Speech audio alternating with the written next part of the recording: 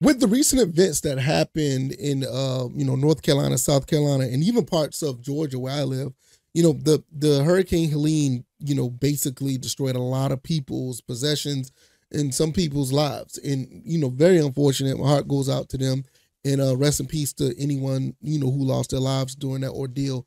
It's very tragic and very uh, upsetting. I know a couple people who have lost their collections in those, uh, you know, in those you know, the, the tragedy and the hurricane.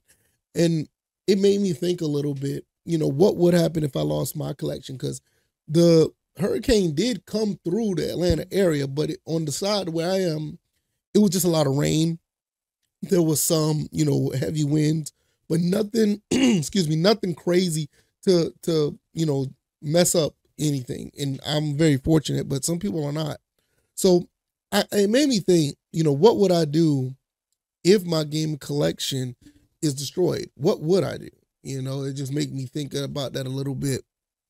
And it also made me think, you know, give you guys a question, you know, what would you do if your gaming collection is destroyed?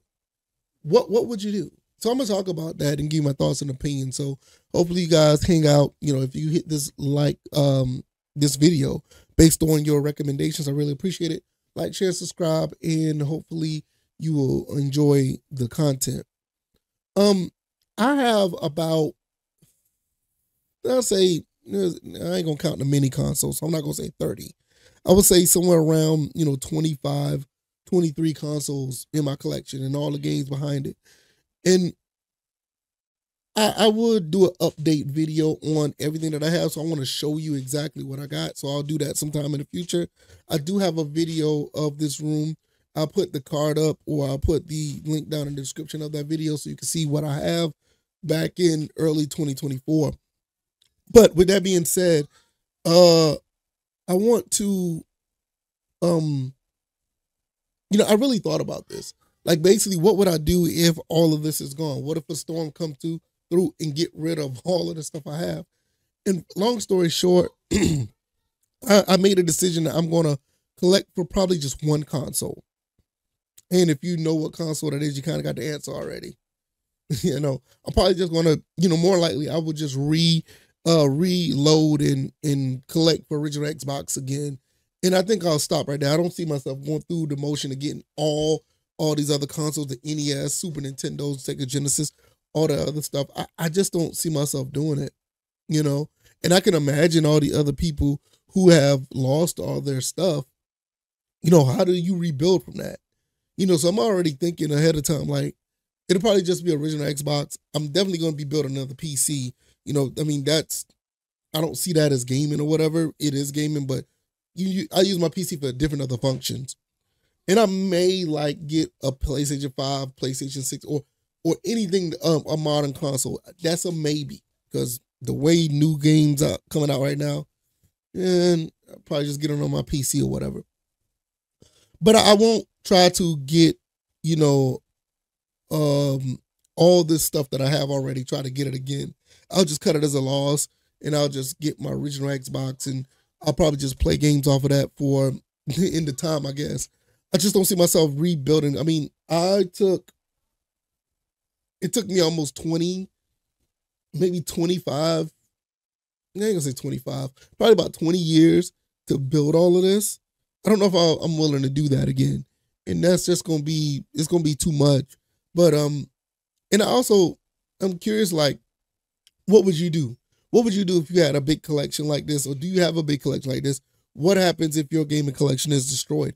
Do you feel like you're going to uh rebuild and get everything back again and go through the motions, or will you be like me and just take one uh one console, maybe two consoles, and just you know build from there?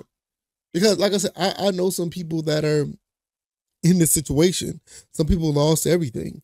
Some people, some content creators that I've seen, they lost, you know, pretty much everything, or they're uh, expecting to lose everything once they actually can get into their house and see what the damage is like. And it's, it's really devastating at the end of the day. But, you know, I thought about it. And as much as I love my collection, I look at all of this and say, you know what, really? This is a, all this is all material stuff, and I'm not just talking about the games and all this other stuff. I mean, I'm talking about accessories, the arcade sticks, the controllers. You know, I just bought a CRT with SCART input. I mean, that's damn near irreplaceable. You know what I mean? But uh, it is what it is. You know, if it happens, it happens. You know, it's things that you can't control, and it's just something you just have to live with at the end of the day. And for me, I just said, look, I'll just go get me an original Xbox again, and um, probably just start re- rebuild from there. And I may get an up to date console or just start playing just on those two consoles. Well, those two devices, the PC and original Xbox, because I just I love the original Xbox. It's my favorite console. And as much as I love these other games, I absolutely love these other games. I just, uh, at the end of the day, I just don't see myself going through the motions of picking up all of this stuff again. I don't know. I mean, I- I'm looking at it from a, I'm looking at it from a reasonable, reasonable point of view because the reasonable point of view is like, I'm not about to go through all this. It took me 20 years to get all of this stuff.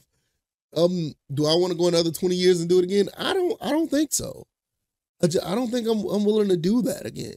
So, but if it happens and I may catch that collection bug and like, yo, I want to get all this stuff again.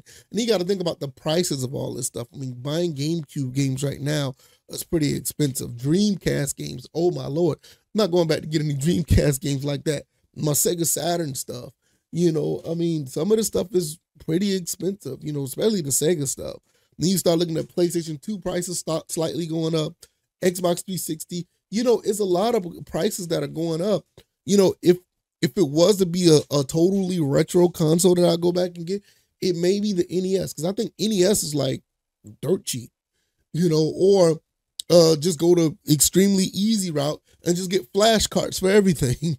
you know what I mean? Just get the consoles, which probably be not as bad once you think about it instead of buying all the games again, maybe I'll just get the consoles and get flash carts, or I'll just use my PC as one emulation box, which that might be the route if I really wanted to play these games. That's the reason why I'll get an original Xbox and a PC because I'll probably just go to the emulation route and just play everything on my PC because there ain't no way I can see myself going back and getting 25, 30 consoles again and just trying to rebuild all this stuff. But at the end of the day, it just makes you think that it's valuable that some of these, you know, resellers try to make these this stuff out to be. To be honest with you, when you look at these consoles, they give you a memory that's really priceless. Eh, priceless, and in some cases, these games, in some form or fashion, could be considered as priceless. You you can't get some of the memories and some of the feelings and some of the experiences that you get from playing on real hardware and having fun and enjoying yourself. I don't know if you could put a price tag on that. So that's why, you know, it's it's really tough to actually put money back into something like this after you went through the whole motion of getting the stuff in the first place. I don't know what you guys think. Y'all let me know what you think. What would you do if your gaming collection is destroyed? I mean, what would you do? You know, I mean, for me, I think it'll be original Xbox and PC all the way. But um, maybe some people will think differently and try to rebuild. Y'all let me know what y'all think. I'm going to take my son out for the day. It's going to be another great weekend for us. And uh, I'll see you guys on the next one. All right, y'all. I'm out. Peace.